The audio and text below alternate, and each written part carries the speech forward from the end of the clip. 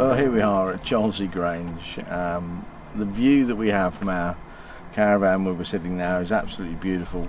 Um, as you can see from the uh, just the view I'm giving you now, uh, it is um, at the top of uh, a hill overlooking a really nice valley uh, with the it's actually the M40 motorway just beyond the tree line uh, and you can't really hear the traffic uh, unless the wind is is completely in the wrong direction. Um, there's a little bit of a, a, whisper of traffic in the background, but really, really not intrusive at all.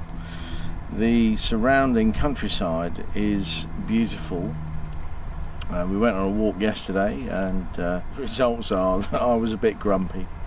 I had uh, a real bad backache, and uh, I'd somehow strained my um, my thigh or or groin um, muscles through walking up or down the hills.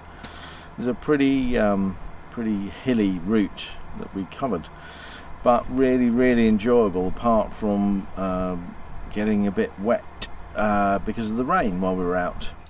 Although I enjoyed the walk, I didn't enjoy it at the same time. And we had a, a lovely um, trip out after that. Once we'd got cleaned up, uh, had a bit of a bit of a shower and uh, sort of clean clothes on, we popped out to the Bull and Butcher at Turville. So really nice evening out. We slept well uh, after our um, three-hour trek uh, yesterday. And today we have uh, we've spoken to uh, Ted, the owner of Cholsey Grange. Uh, Ted's a really nice guy, uh, very helpful. In fact, when we turned up, we got a whole bag full of information um, that we could sort of look through to find walks and places of interest to go.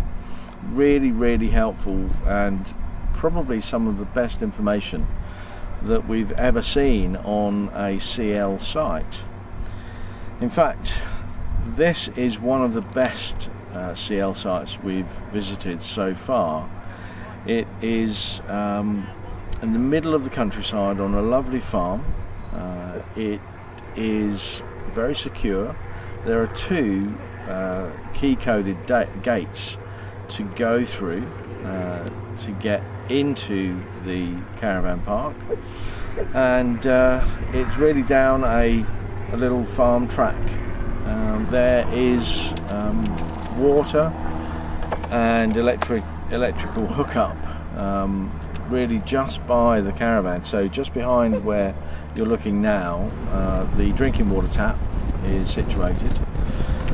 A little walk up the lane um, back to the main farmyard is where we take the chemical toilet um, disposal point.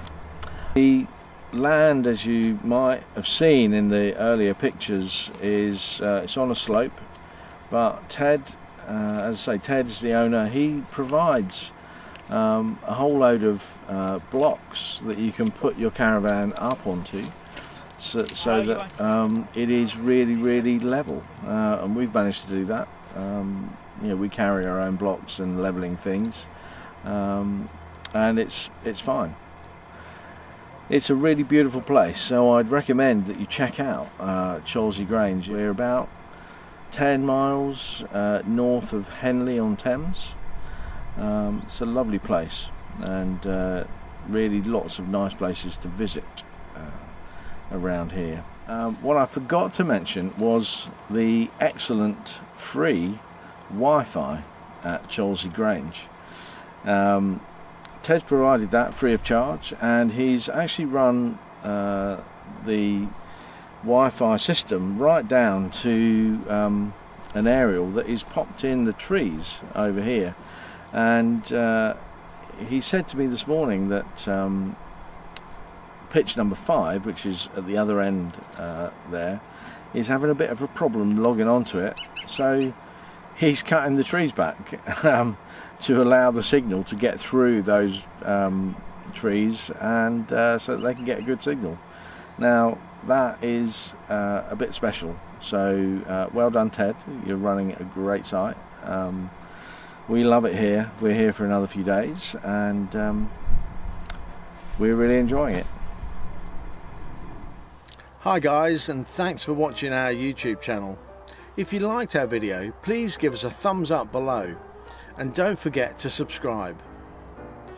Check out all our other videos to keep following us on the road. Thanks everyone. Bye. Bye bye.